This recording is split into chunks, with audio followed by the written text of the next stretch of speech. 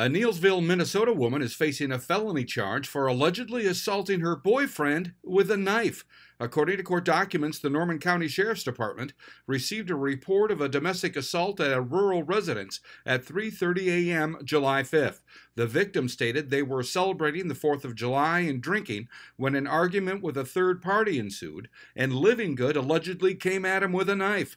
The deputy reported the victim needed stitches to his face, head, hand, and ear. Chanda Livingood has been charged with felony second degree assault. I'm Neil Carlson reporting for iNewZ.TV.